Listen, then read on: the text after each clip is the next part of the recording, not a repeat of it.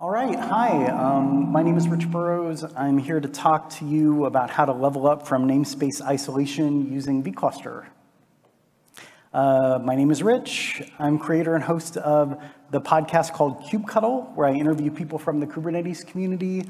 I've talked with people like Joe Beda and Kelsey Hightower and Liz Rice. So um, if that sounds interesting to you, look that up in your podcast player. Um, before getting into developer relations, I worked in operations roles for over 20 years, and as a result, um, I have seen some things. So um, primarily in the past, we've had two Kubernetes multi-tenancy models.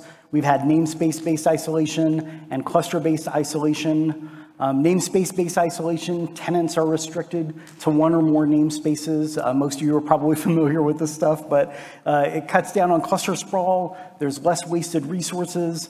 Um, some of the cons are that users can't manage global objects, which might be a problem for dev environments.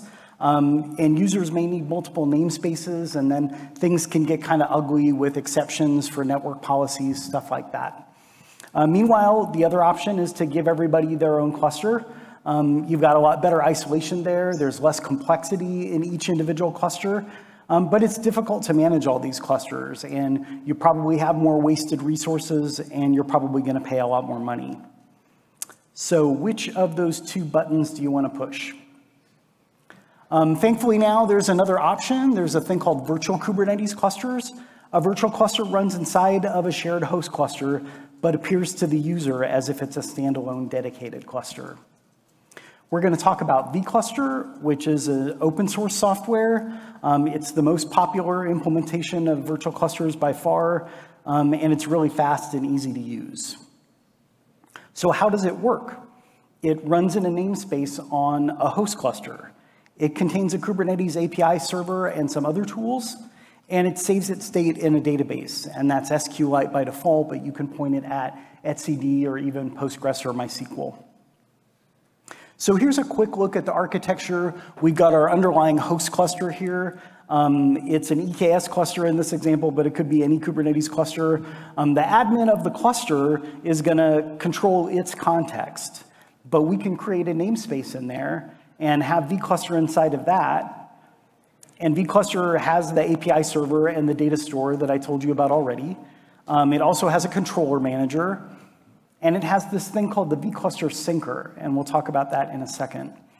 Now, as a tenant in this, uh, in this cluster, I'm going to connect to the API server of the vCluster, not the underlying host cluster. So I connect to the vCluster, I control its context, um, I can create namespaces inside of the virtual cluster and have deployments and pods and custom resources, all of the stuff that I normally would. A lot of this stuff is managed uh, just inside the namespace by vCluster itself, but pods get synced down to the underlying host cluster and they get scheduled there. So that's how it works. You'll notice on the vCluster line, there's not a scheduler. All the scheduling is done by the underlying host cluster. So that's basically how vCluster works. So what about vCluster isolation? Um, it's somewhere between those two things we talked about earlier, right? It's uh, somewhere between the namespace-based isolation and the cluster-based. Um, there is an API server per virtual cluster, so you're getting some API server federation there.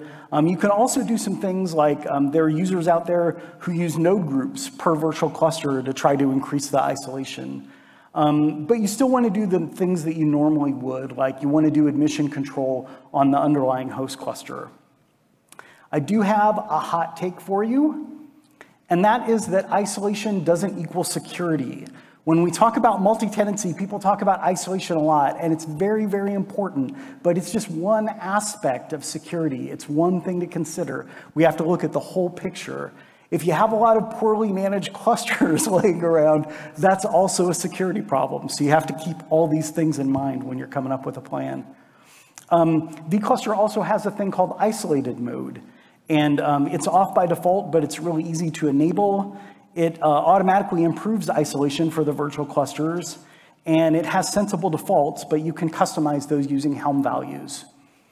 Um, so isolated mode creates these objects per virtual cluster, um, a pod security standard, and that prevents things like launching privilege pods or mounting a host path. Um, it creates a resource quota and a limit range, which uh, allows you to restrict the resources the virtual cluster uses.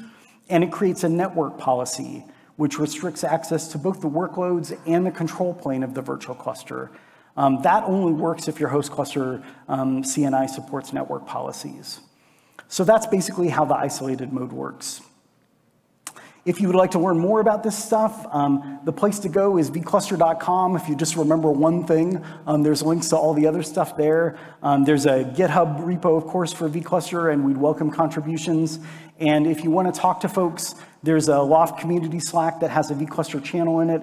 The maintainers are in there, and lots of other users. And um, yeah, that's it. So thank you very much.